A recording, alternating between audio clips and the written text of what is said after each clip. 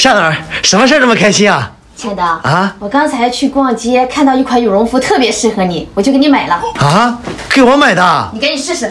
哎呀，呃谢夏总啊。来，怎么样？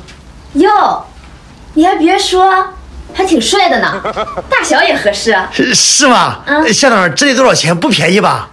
不贵，两千，多少？两千啊。我买个地摊才五十块钱，送两条裤腿，两双袜子，你这转手赚我一千九百五是吧？哎，我送你的，不要钱啊。送送我的呀？啊，其实也不白送。今天晚上我妈过生日，你陪我一起回家吃个饭。我就说没好事。来，这羽绒服我不要了。今天晚上我第一次约了财务小姐姐，你约了财务小姐姐约会，就你那点工资，我没听错吧？约会能花多少钱？来，我给你算笔账来。行，你算。第一，外边这么大冷的天儿，你没车吧？没打车来回不得一百啊？就给你算一百啊。第二，你这这么冷的天儿，你不得去逛商场？逛商场你不得点奶茶？奶茶怎么地也得五六十吧？那我就按给人家六十算。第三，你第一次跟人财务小姐姐约会，你不得订束花呀？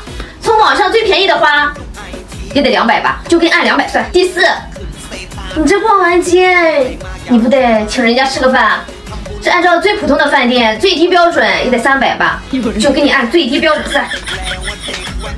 第五，你这逛完街，你不能立即回家吧？你不得请人家看个电影？这要从网上买票，最便宜的话也得七八十吧？就给你按七十算。第六，你这逛完街看完电影，你不得去跟人家开个酒店？现在酒店最便宜的也得三百吧？哎呀，这算下来，顶上你半个月的工资了呢。你去吗？呃 夏总，你这么说的话，我明白了。那个，我选六。谁让你做选择题了？滚！